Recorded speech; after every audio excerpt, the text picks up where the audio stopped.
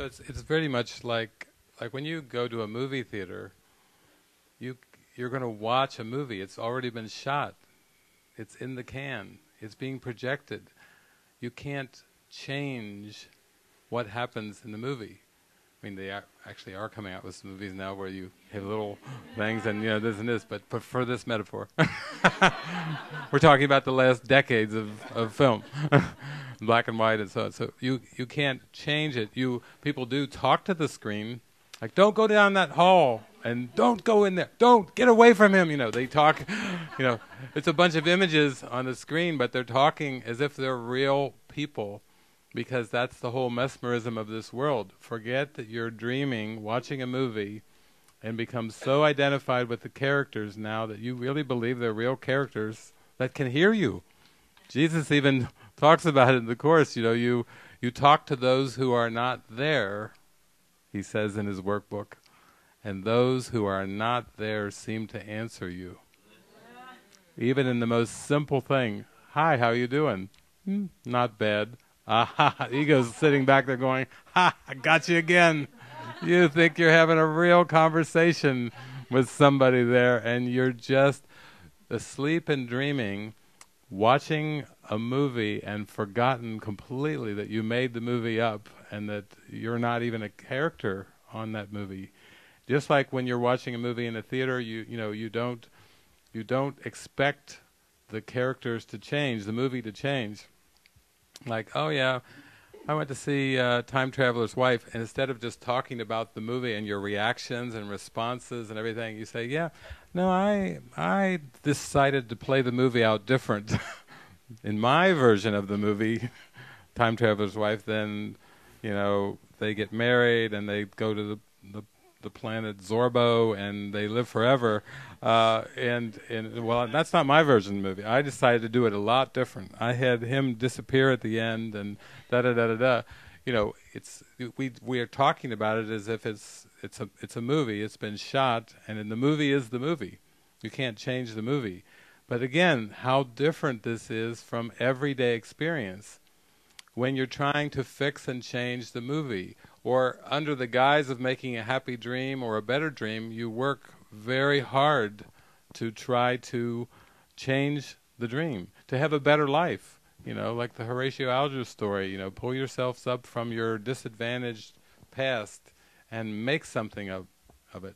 You know, that was even a slogan as I was growing up of the the army, be all that you can be.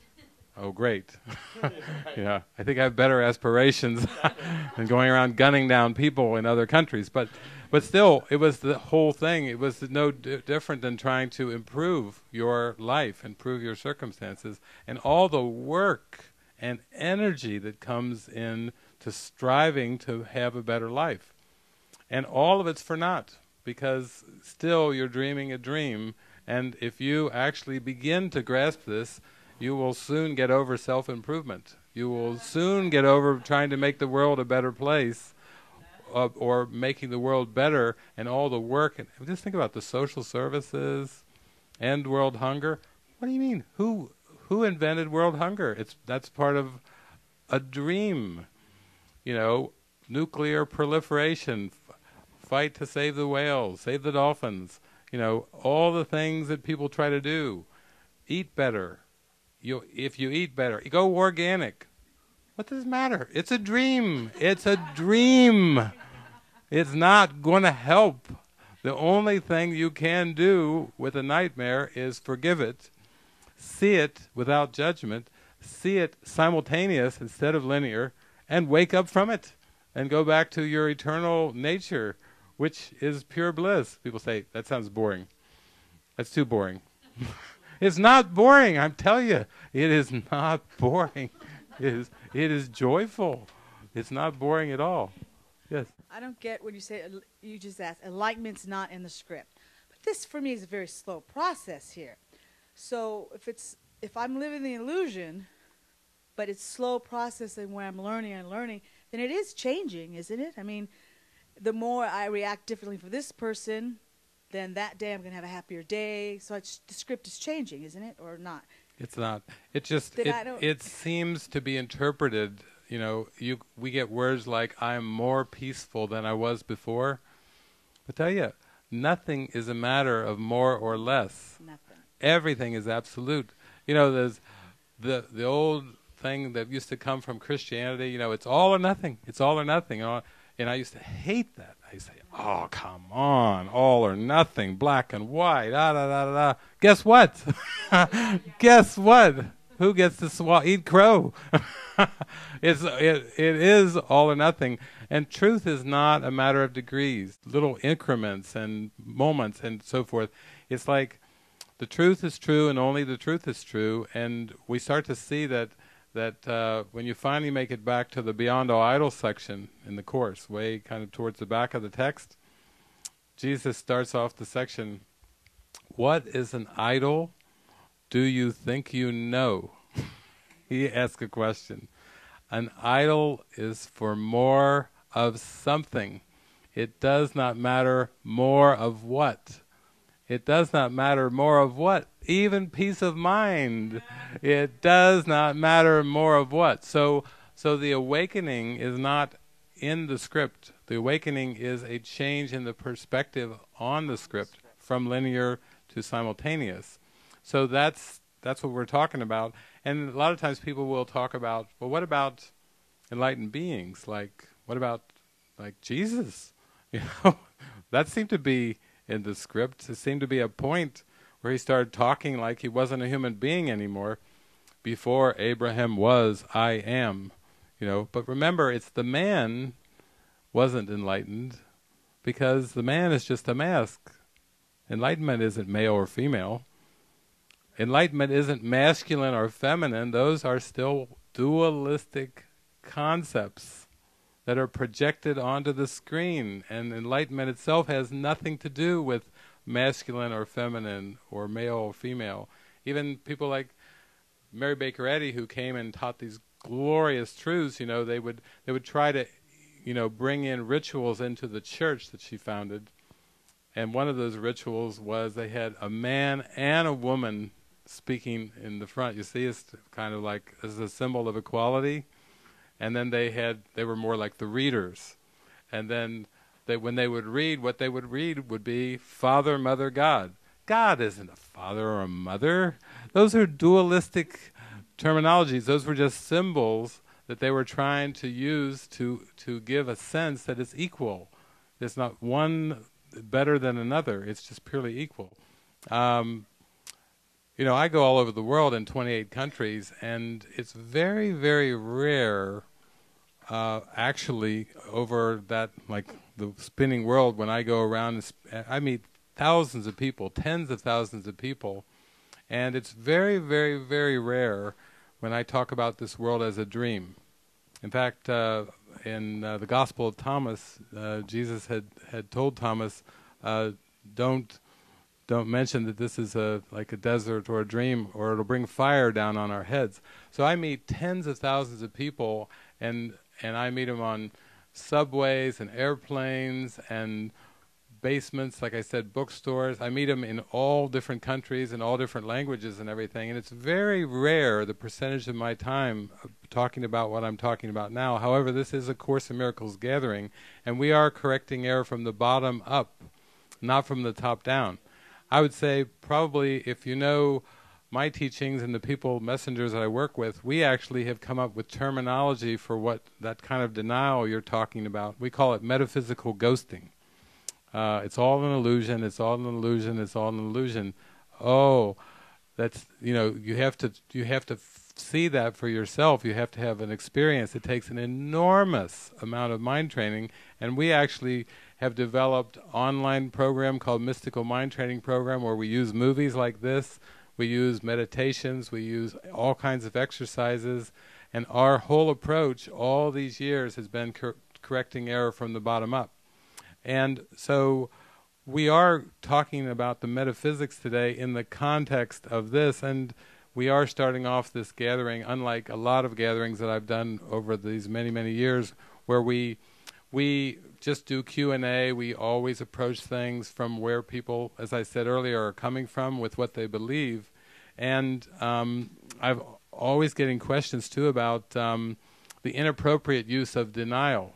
In other words, to, to deny the body is the inappropriate use of denial. Deny, Jesus says, what is the appropriate or helpful use of denial? Deny the belief that error can hurt you. That's what Jesus calls the appropriate use of denial. So we're always taking it back to the perception in mind, to the idea that there's something outside that can actually harm, whether it's particular kinds of food or radiation or uh, weather conditions or so on and so forth.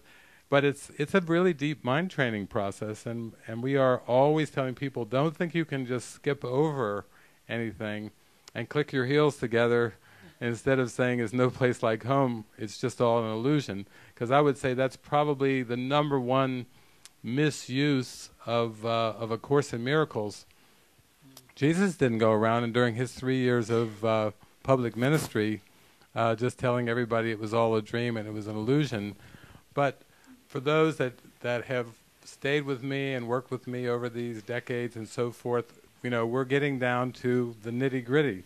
Yeah, people are always saying me, "What's the most essential thing that I need to recognize?"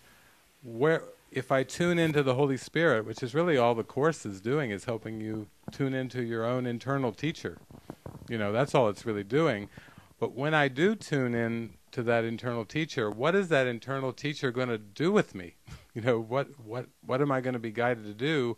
And the Holy Spirit works, you know, as Ken Wapnick has said, it works in the mind, not in the world. The Holy Spirit is not. You can interpret that the Holy Spirit is bringing you parking spaces and giving you all these kind of things, checks in the mail and this and this.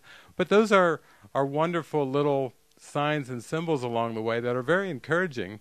You know, when you pray for help uh, with something practical and you seem to get a check in the mail or an unexpected kind of thing that comes out of nowhere, that can be very encouraging, but it still shouldn't be a reason to believe that, that the Holy Spirit is tinkering around in the dream. So there's been a lot of wonderful teachings and teachers that have really pointed that out. So what we're really looking at is uh, when you get all the way to the back of the text of A Course in Miracles, Jesus says, salvation is nothing more than the escape from concepts. And he also talks about exchanging self-concepts. That's the Holy Spirit's job. So nothing is ripped away. The, the tablecloth is not pulled out. We we seem to go through an experience while we believe in the reality of the world to more expansive self-concepts. And they still involve time and space components of them, and those are very, very practical. So um, I would say that even to be a miracle worker that I talked about last night or a teacher of God, those are still concepts. But the more you just give yourself over to those concepts, you find that they're very expansive self concepts, much more expansive than father, mother, sister, brother, or construction worker, or you know, whatever. It's it's approaching the I amness, but before you reach the I amness, you reach forgiveness, which is really the forgiven world or the happy dream, and that's the goal of the course. It's really to it's it's not the abstract I amness, but it's to have the happy dream and do that. On the surface, when we kind of come zooming in with all of you, something like this, you could be like, "Whoa, what are we? Are we going for Z here? Z?" in a way, we are, because in a way we want to save save time, or we want we want the mind to experience the fullness of the glory that it is as soon as possible. But it has to be a, a careful undoing, and you have to literally allow the darkness to come up into the mind and have that mind shift. You can't you can't just you know we're not here teaching diksha, we're not here teaching the, the darshan. What we're really into is bringing the illusions to the truth. We're not trying a top-down approach of we don't have any magic wands hidden anywhere. At the end, we're going to bonk you all on the head and go, okay, enough of this stuff. Wake up. You know, we don't have any kind of magical things here. We're we're really talking about doing the inner work of bringing the darkness to the light and bringing the illusions to the truth.